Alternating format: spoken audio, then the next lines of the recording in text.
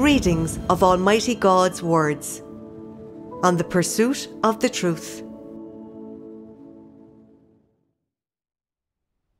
What it means to pursue the truth. 5.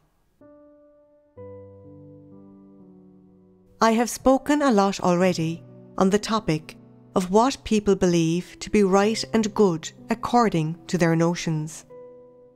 I have repeated myself over and over in order to make you understand that although these topics are to an extent removed from the truth, and they do not reach as high as the truth, they are related to man's views on people and things, and to man's comportment and actions. Therefore, do not regard these topics as non truths, or as a type of knowledge or theory. They are not empty. The things that people regard as right and good in their notions are always in the depths of their hearts, controlling their thoughts, controlling the perspective and standpoint from which they view people and things, and how they comport themselves and act. Therefore, these things must be clearly explained so that people can understand and gain discernment over them, and thereby let go of man's notions of good behaviour and things of this sort, and never again treat these things as positive or as the behavioural criteria for their views on people and things, and for their comportment and actions.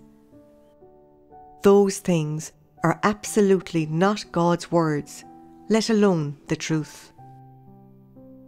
What you need to do is constantly correct the viewpoint and stance from which you view people and things, and comport yourselves and act, while also constantly examining whether each notion and viewpoint that arises in your mind is in line with the truth. You must promptly reverse your fallacious notions and viewpoints, and then hold to the correct stance and view people and things and comport yourselves and act according to God's words, using the behavioural criteria that God requires. This is the most basic practice of the pursuit of the truth. It is also a sort of direction and goal of pursuit, which you should possess when striving to attain salvation and to live out normal humanity.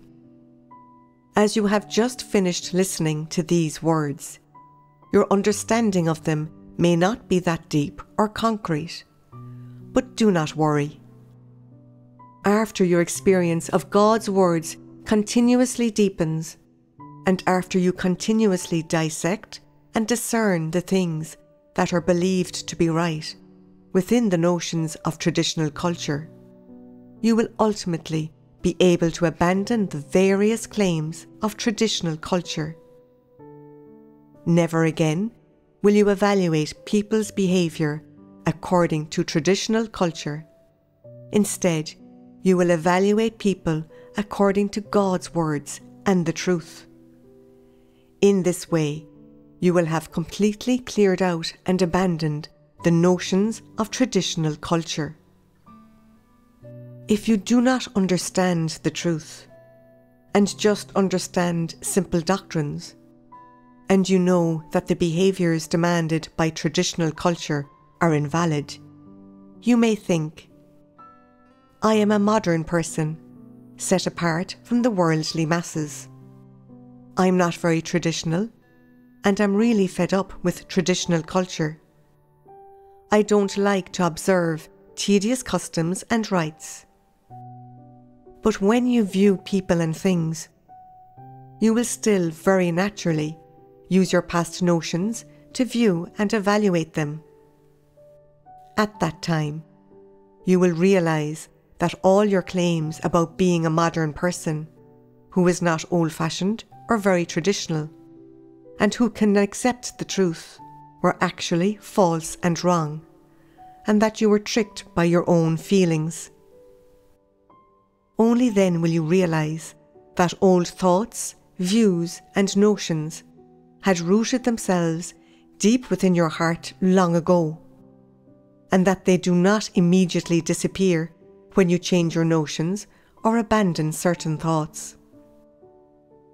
Saying that you are a person of the new age, a modern person, is just a surface level label. It is only because you were born in a different generation and age. But all of those things which are old fashioned and antagonistic toward God, that are common to all mankind, are present in you too, without exception. So long as you are human, you will have these things in you. If you do not believe this, then gain more experience. There will come a day when you say, Amen to these words of mine. Those people who do not understand spiritual matters, and those who are haughty and egotistical, think, I have a master's and a doctorate. I have lived many years in this society, and I have been exposed to the culture and education of the new age, especially Western education. How could I still harbour those old fashioned things? Traditions are the worst. I loathe those pointless rules. When my family gets together and talks about traditional things and rules, I don't want to listen at all. Do not rush to deny it. There will eventually come a day when you let go of these ideas of yours. You will admit that there could not be a more ordinary member of the Satan corrupted human race than you. Although you did not willingly accept or pour forth the old fashioned notions inside of you, traditional culture and the ancestors of the human race infected and conditioned you with them long ago. These things exist, without exception, in your inner landscape and in your thoughts and notions. Why is this? Because these aspects of traditional culture are not simple statements, nor are they simple sayings or approaches. Rather, they are a type of thinking and theory. They have the effect of misleading and corrupting man. These sayings and approaches do not come from corrupt humanity, they come from Satan. So long as you are living under Satan's power, you cannot avoid being conditioned, misled, and corrupted by these things. Now that you have heard my words, you will feel that they are all facts and the truth. When you have experienced these words of mine, you will discover that although you do not like traditional culture, or tedious customs and rites, or pointless rules. The basis for your views on people and things, and for your comportment and actions, inevitably come from man. They belong to the core of traditional culture. They are things within traditional culture.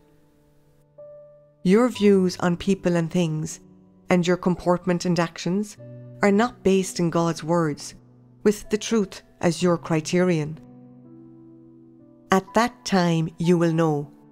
You will be able to clearly see that before people have gained the truth, if they do not pursue or understand the truth, then they carry Satan's poison, a piece of Satan, and Satan's schemes with them as they live out the most basic normal humanity. Everything they live out is negative and despised and rejected by God. It is all of the flesh and has nothing to do with the positive things that God puts forward and likes and that conform with His will. There is no overlap at all. There is not even any similarity between them. It is very important to see these problems clearly Otherwise, people will not know what it means to practice the truth. They will forever cling to the good behaviours that man believes to be positive things. So their behaviour and manifestations will never meet with God's approval. If a person loves the truth, they will be able to accept and pursue it. They will view people and things and comport themselves and act wholly according to God's words, with the truth as their criterion. In this way, they will be able to embark on the life path that God has indicated to man. Viewing people and things and comporting oneself and acting wholly according to God's words, with the truth as one's criterion. This principle of the truth is extremely important and imperative for man. It is a principle of the truth which one must possess when pursuing salvation and striving to live out a meaningful life. You must accept this. There is no room for choice in this matter, and there are no exceptions for anyone. If you do not pursue the truth, and do not accept this principle of the truth. No matter whether you are old or young, knowledgeable or not, no matter if you are a person of faith or a person of little faith, and regardless of what social class you belong to or what ethnicity you are, without exception, you will have nothing to do with the standards that God demands. What you must do is strive to view people and things, and to comport yourself and act wholly according to God's words, with the truth as your criterion. This is the one and only road that you should pursue. You should not pick and choose, saying, I will accept something as the truth if it fits with my notions, but if it doesn't, I will refuse to accept it. I will do things my own way. There's no need for me to pursue the truth. I don't need to look at people, matters, and things from the standpoint of God's words. I have my own views, and they are quite noble, objective, and positive. They aren't that different from God's words, so of course, they can replace God's words and the truth. I don't need to practice God's words in this regard or act according to them. This kind of view and method of pursuit are wrong. No matter how good or right a person's views are, they are still wrong. They can in no way replace the truth. If you cannot accept the truth, whatever you pursue will be wrong. That is why I say that you have no choice in the matter of viewing people and things and comporting oneself and acting wholly according to God's words, with the truth as one's criterion. All you can do is dutifully act according to this phrase and carry out and personally experience it, gradually gaining knowledge of it, recognizing your own corrupt disposition and entering into the reality of this phrase. Only then will the goal you ultimately achieve be the goal one ought to achieve by pursuing the truth. Otherwise, your hard work, everything you have renounced, and all the prices that you have paid will evaporate. They will all be in vain. Do you understand? What does it mean to pursue the truth? To view people and things and to comport oneself and act, wholly according to God's words, with the truth as one's criterion. That is right. Practice these words conscientiously, absolutely, and comprehensively.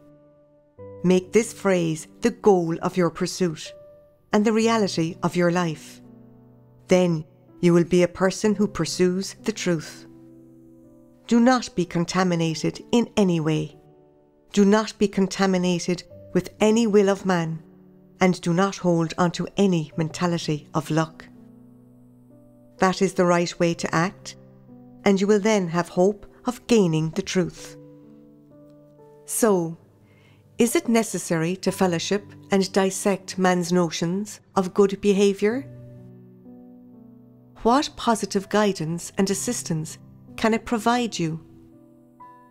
Can these words become the basis and criterion for how you view people and things and comport yourself and act? Yes, they can. If they can, then pray read these two fellowships well during your gatherings and devotionals.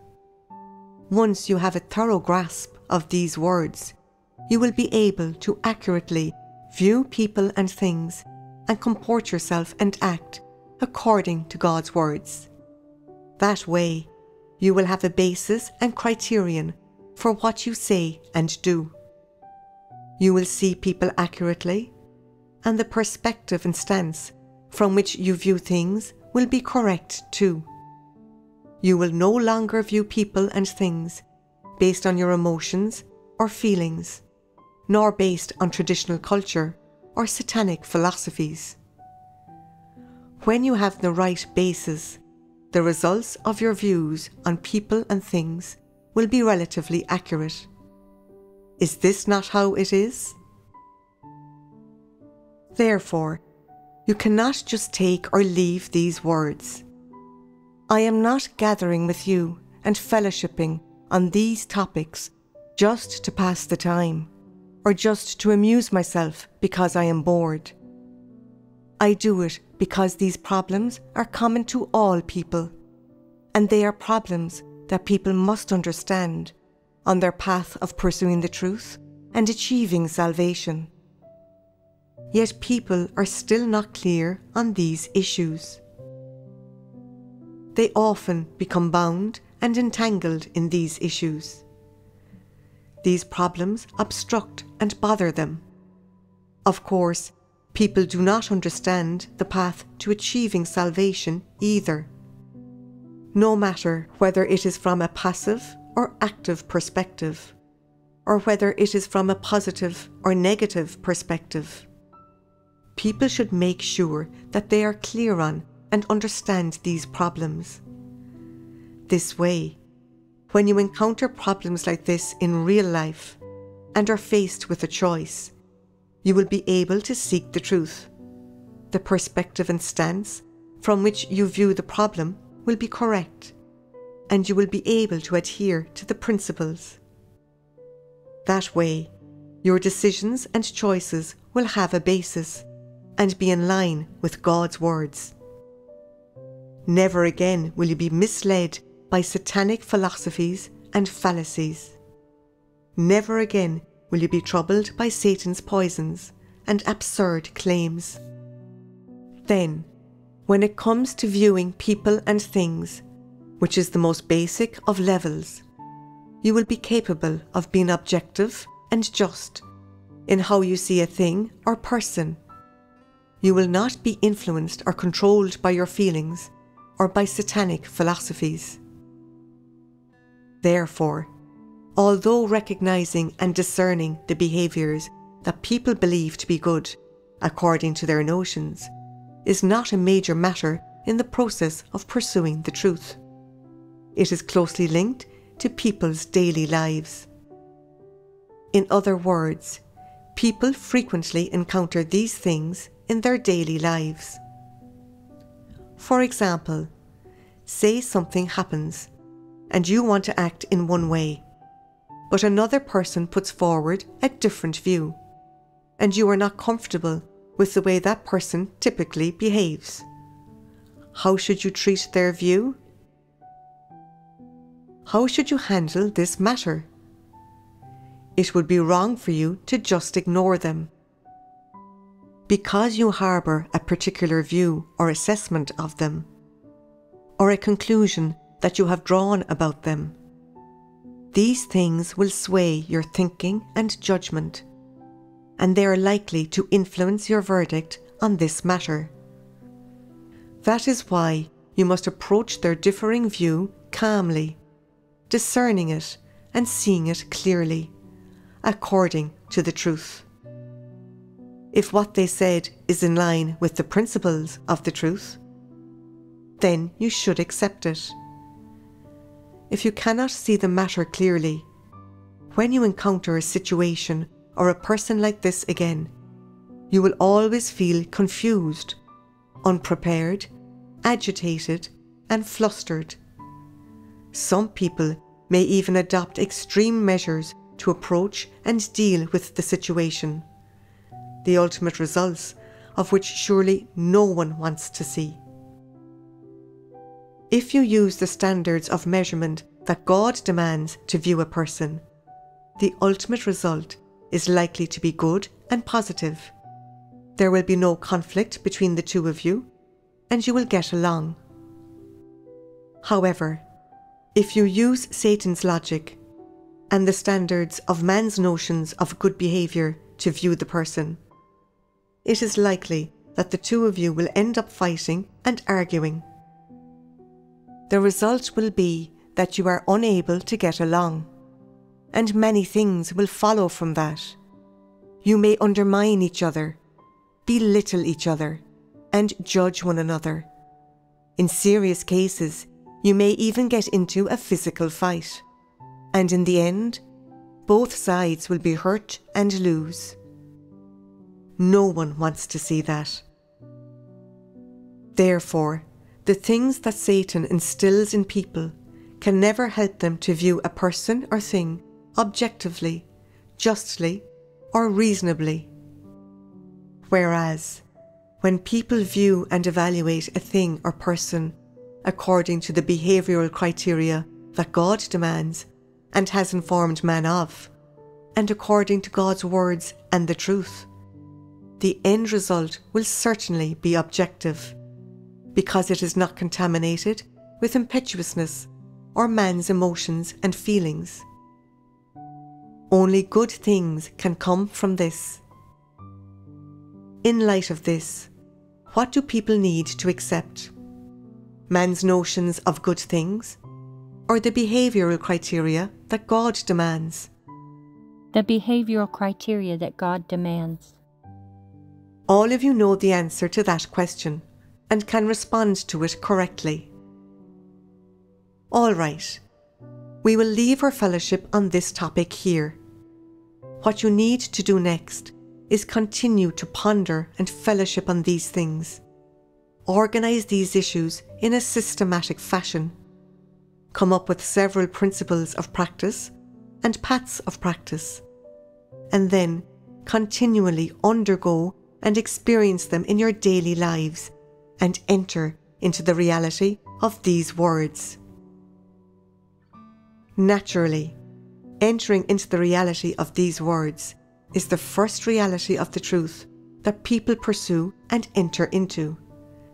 In this way, through the course of experience, people gradually come to varying degrees of understanding and knowledge of each facet of the content of this fellowship, and they progressively make gains from different perspectives.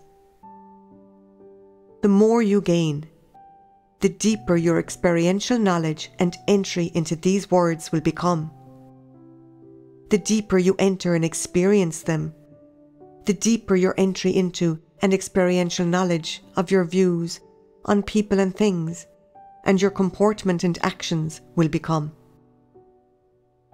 By contrast, if you do not enter into these words at all, and just look at and understand the literal meaning of these words, and leave it at that, living as you always have, not seeking the truth when problems arise, and not holding those problems up against God's words for comparison, or resolving them according to God's words. Then you will never be able to enter into the reality of God's words. What does it mean to say that you will never be able to enter into the reality of the truth? It means that you are not someone who loves the truth, and you will never practice the truth because you will never view people and things or comport yourself and act according to God's words, with the truth as your criterion. You say, I still live well even though I don't take God's words as my basis or the truth as my criterion. What do you mean, live well? Are things going well so long as you are not dead? The goal of your pursuit is not to achieve salvation, and you do not accept or understand the truth. Yet you say that you are living well. If that is the case, your quality of life is very subpar, and the quality of the humanity that you live out is very low. To borrow from a colloquial saying, you are more like a fiend than a person because you do not eat and drink God's words, and you do not understand the truth. You still live by a satanic disposition and satanic philosophies. You are merely a non human cloaked in human skin. What quality or value does the life of a person like that have? It has no benefit to you or to others. The quality of this sort of life is so poor, it has no value. Do you know why I am fellowshipping and dissecting these traditional notions and traditional culture today? Is it just because I do not like them? No, that is not the reason. Then, what is the significance of fellowshipping on these topics? What is the ultimate goal of it? It helps us to examine which behaviors and manifestations we still harbor that are dictated by traditional culture and living by satanic philosophies. After we come to understand the truth and gain discernment, we will be able to live out normal humanity according to the demands and criteria that God has given us and walk the path of pursuing the truth. This is correct but a bit wordy. What is the simplest and most direct answer?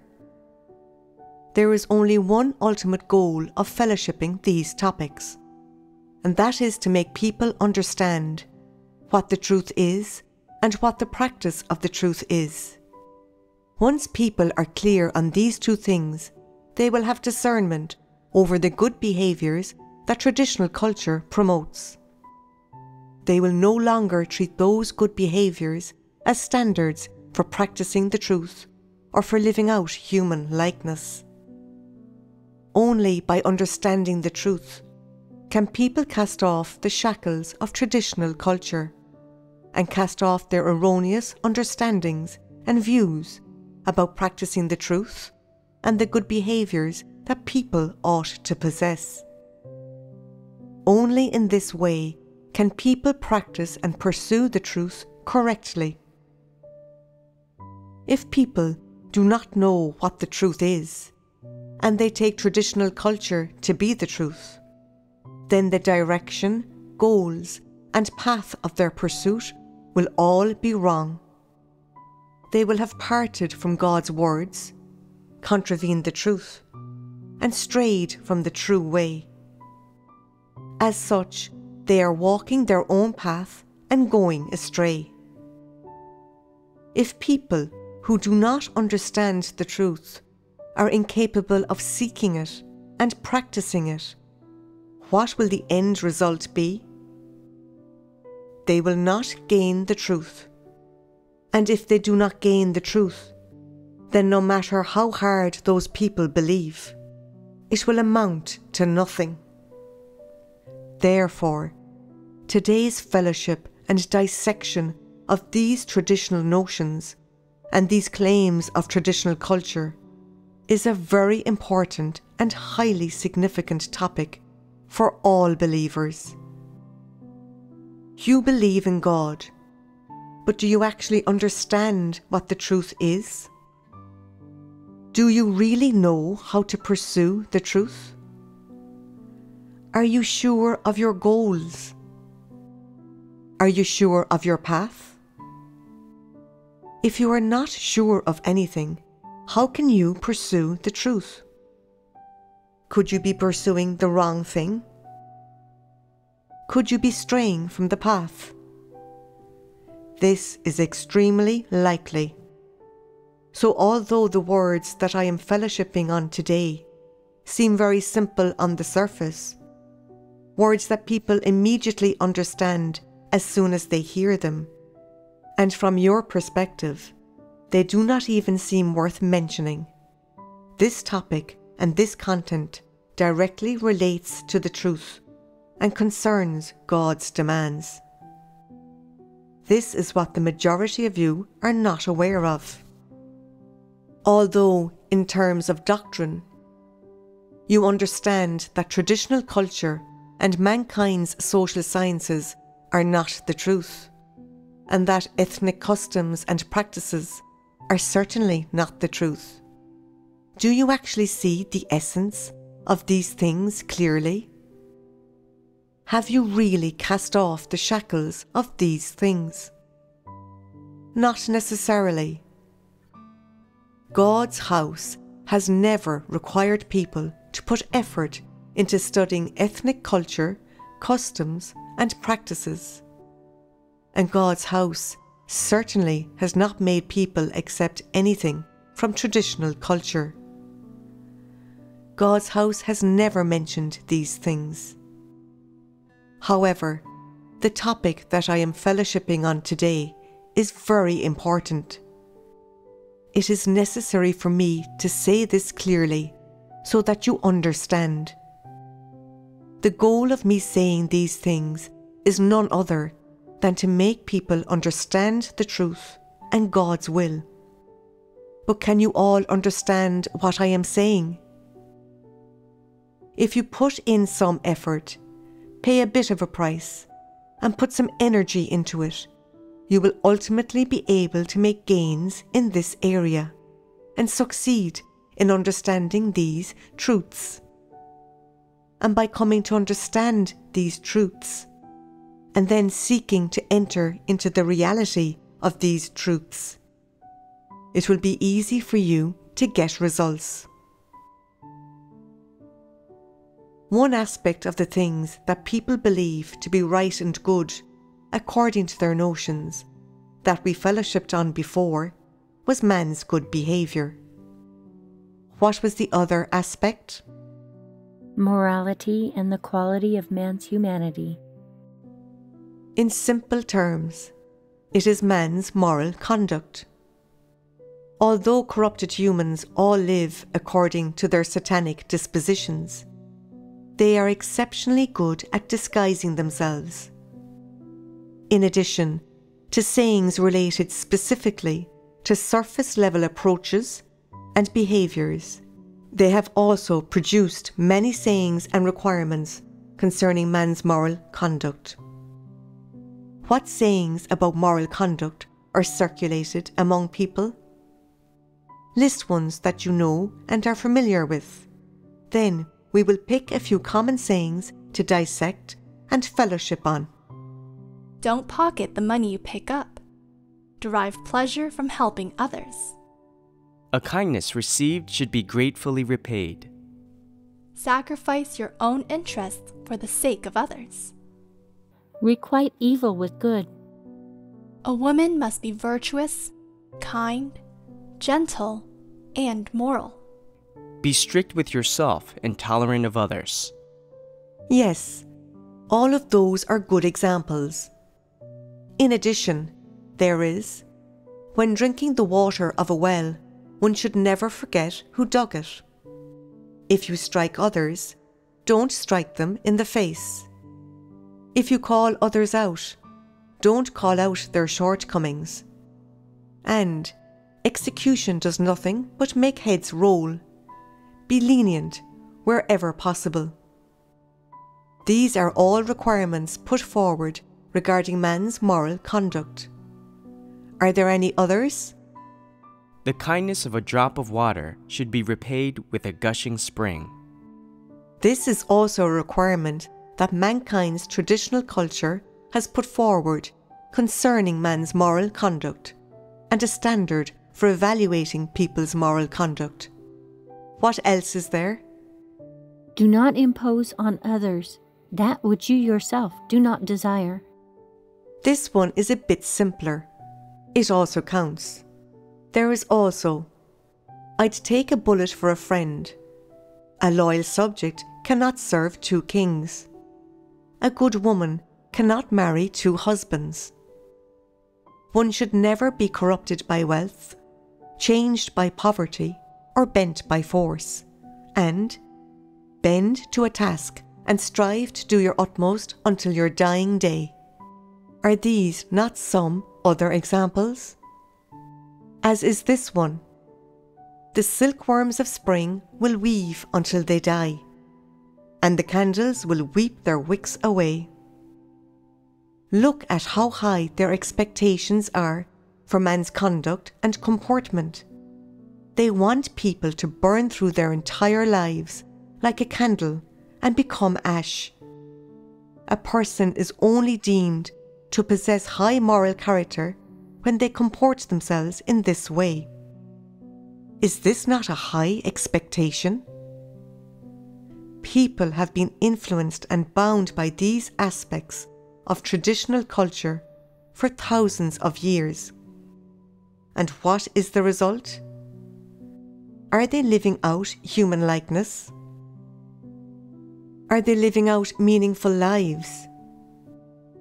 People live for these things that traditional culture demands, sacrificing their youths or even their whole lives for them, all the while believing that their lives are very proud and glorious. In the end, when they die, they do not know what they died for or whether their deaths had any value and meaning, or whether they met the demands of their Creator. People are completely ignorant of these things. What other sayings and requirements does traditional culture have concerning people's moral conduct? Every person shares responsibility for the fate of their country. And do your best to faithfully handle whatever other people have entrusted to you. These fit the bill. There is also a gentleman's word is his bond. This is a requirement that concerns man's trustworthiness. Is there anything else? Grow like a lily from the mud unsullied. This phrase has some overlap with this topic. I think we have listed enough examples the sayings that we have just covered include requirements that have been put forward regarding man's dedication, patriotism, trustworthiness, chastity, as well as principles for interacting with others and how people should treat someone who has helped them, or how to repay kindness, and so on. Some of these sayings are simpler, while others are a bit deeper the simplest are derive pleasure from helping others. Don't pocket the money you pick up. And one should never be corrupted by wealth, changed by poverty, or bent by force.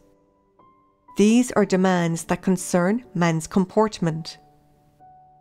A loyal subject cannot serve two kings.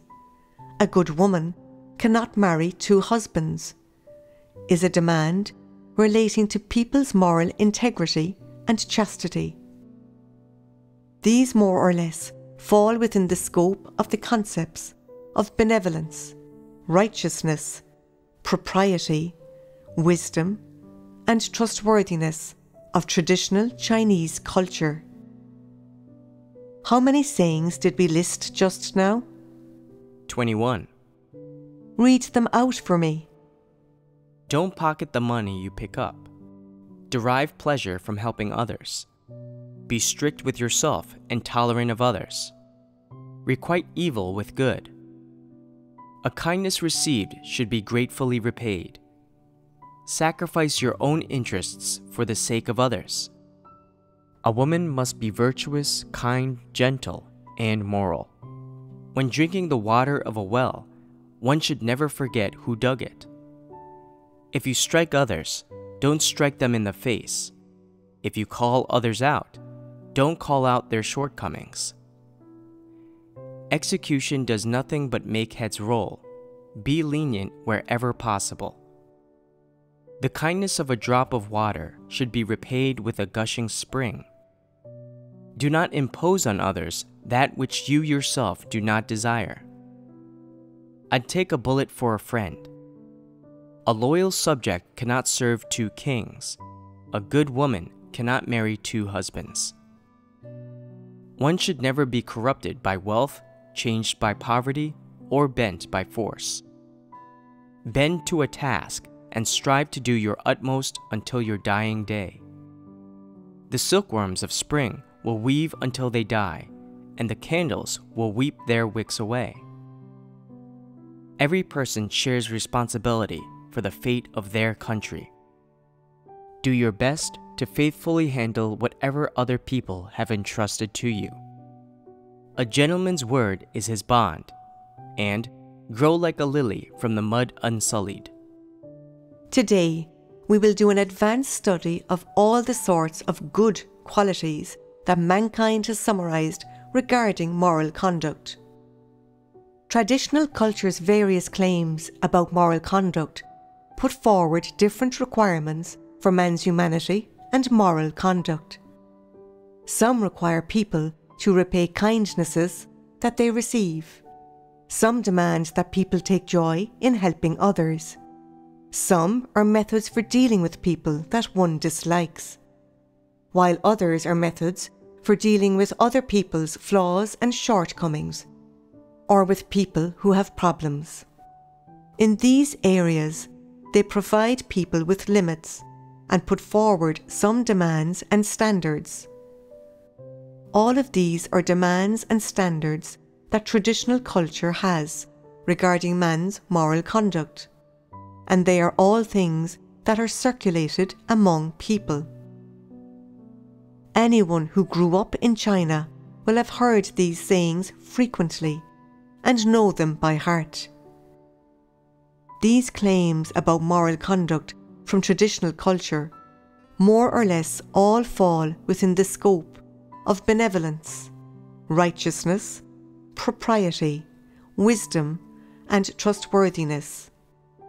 Of course, there are some sayings that fall outside of this scope, but the major ones more or less all fall within it.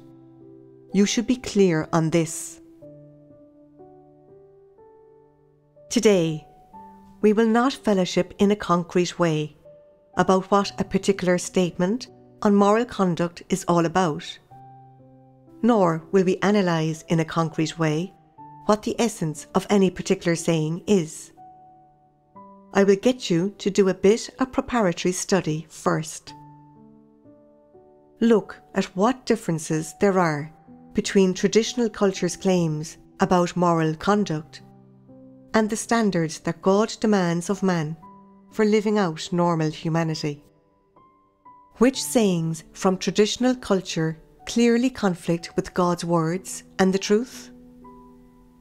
If interpreted literally, which sayings resemble God's words and the truth, or are somewhat connected to them? Which of these sayings do you believe to be positive things and which of these sayings did you once strictly hold yourself to after you came to believe in God, practicing and complying with it as though it were the criterion for your pursuit of the truth? For example, sacrifice your own interests for the sake of others. Are you all familiar with this saying? After coming to believe in God, did you not think that you ought to be a good person like this? And when you sacrificed your own interests for the sake of others, did you not think that you had pretty good humanity and that God would surely like you? Or, before you believed in God, maybe you believed that people who possessed the quality of requiting evil with good were good people you were just not willing to do it. You were unable to do it and could not hold to it.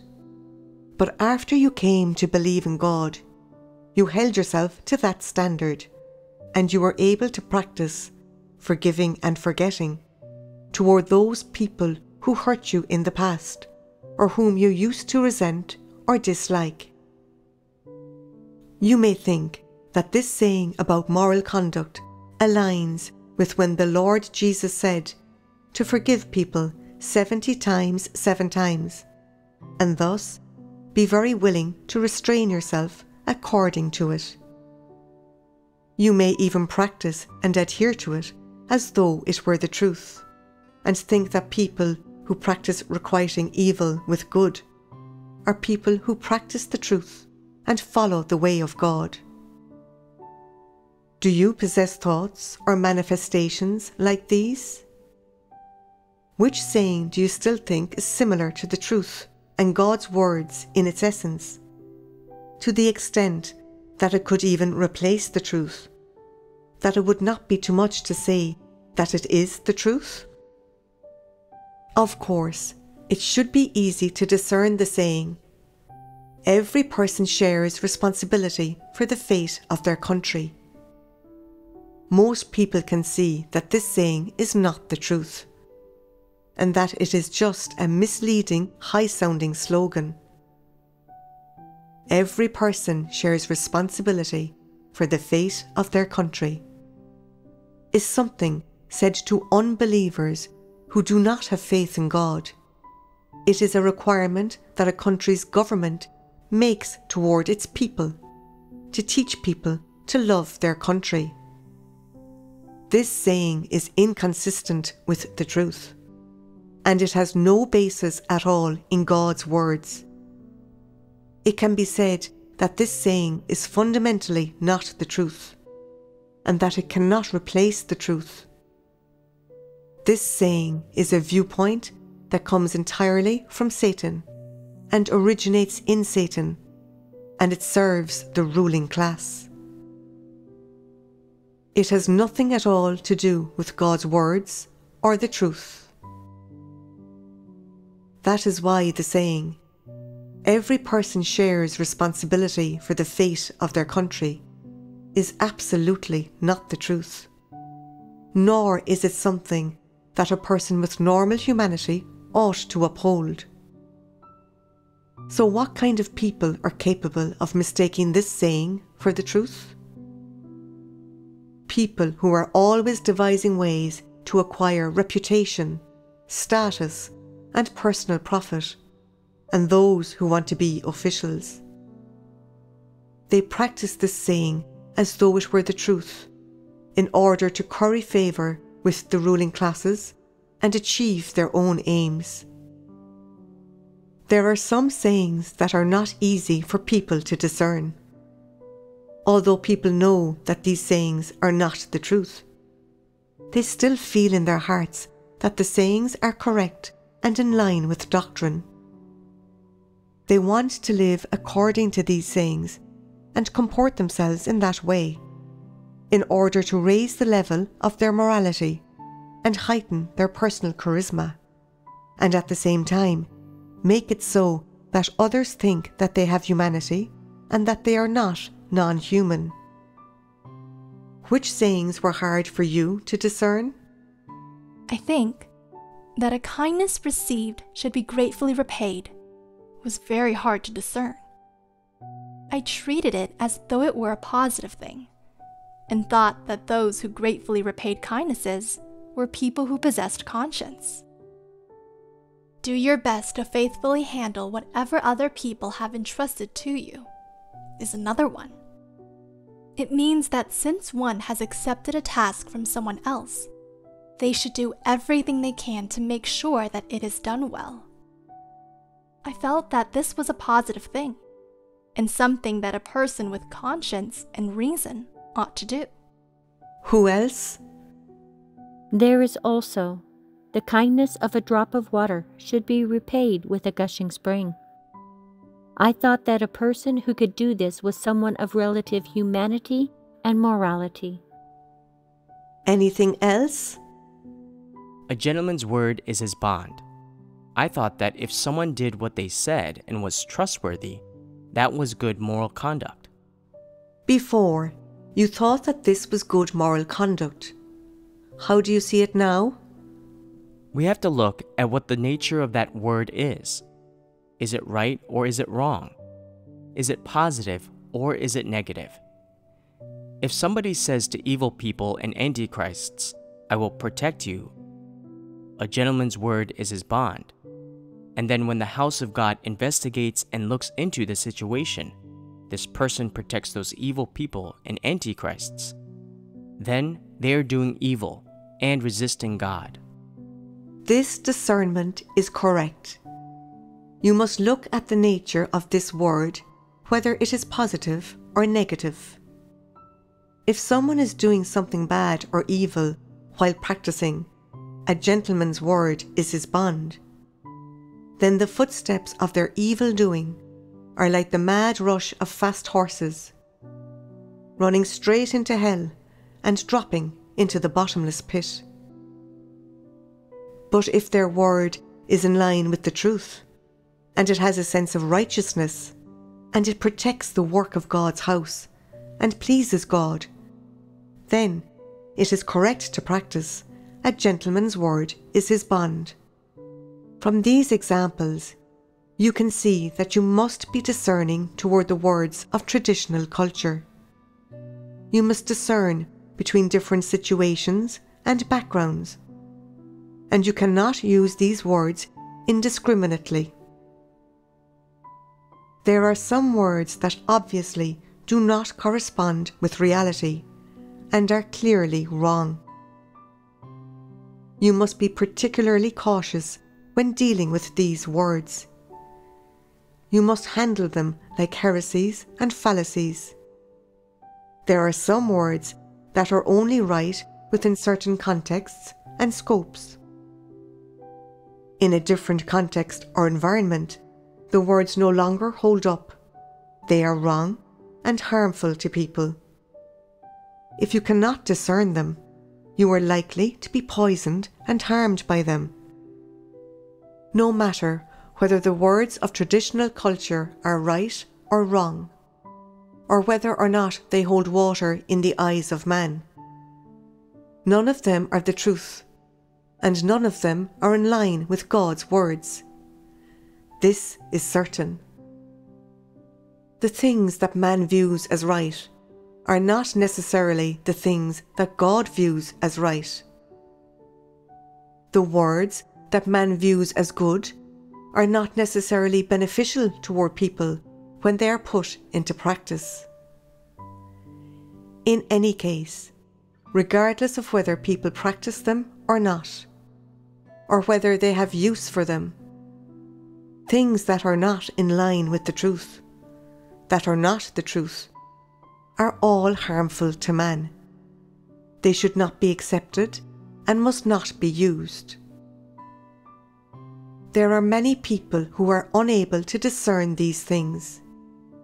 They treat things which man views as right, or which corrupted mankind commonly agrees are right, as the truth, and adhere to them and practice them as though they were the truth.